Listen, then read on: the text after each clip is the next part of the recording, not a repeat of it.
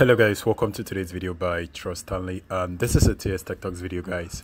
On today's video guys, I'm going to show you how to make use of voice changer on your Power Director.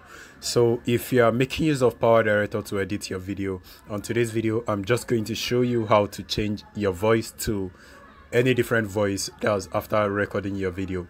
Now let's dive into that.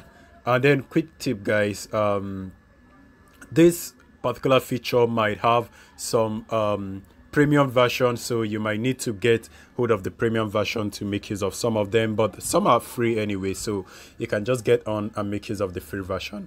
Now let's dive in. So guys our power director is open. The next thing to do is to click on new project and choose the aspect ratio that you want.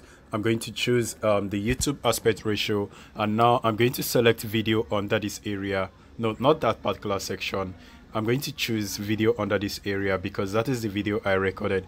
Now, um, you got to listen to it. It's actually my voice. I'm going to click OK. So you have to encode the video because it doesn't. It wasn't created with it, with the same aspect ratio that we chose for our video editing. So wait for it to re-encode, and once it's done, it will be added to the timeline. Now that is done, I'm going to back out and back out even more. So this is our video. Now let me go ahead and play the voice for you so that you will get to listen to the default voice. Um, Hello guys, welcome to today's video by Trust Stanley. Uh so that is exactly how my voice sound this is actually my voice so i'm going to change that particular voice to a different voice now to do that go ahead and click on the timeline click on this pencil icon on the bottom right and then you notice where it says audio 2 right? Go ahead and tap on that. And then you notice where it has voice changer. Tap on the voice changer. So i'm going to choose um, man voice and then play it.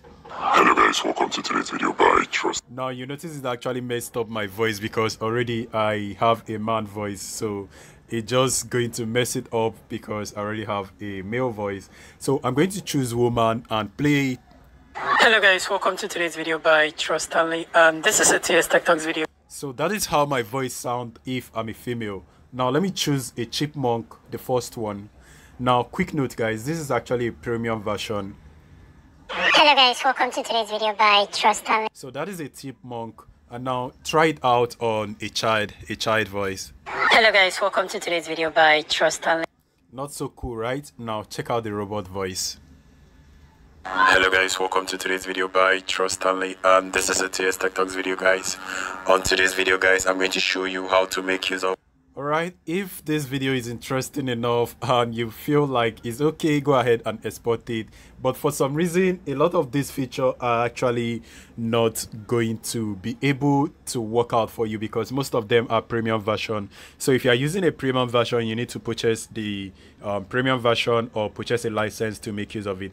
So this is all how to this is all how to change your voice on your power director. So if this video is helpful enough smash that like button and subscribe to the channel for more video. And i'm going to see you guys on my next video. And guys i really thank you so much for 18k subscribers. I'm actually really impressed. I didn't believe i'm going to get here. So far actually went all the way to get to 18k from 0 to 18k so guys i really appreciate you guys so much and thank you guys for 18k subscribers. And i'm going to see you on my next video. Stay safe guys. I love you. Peace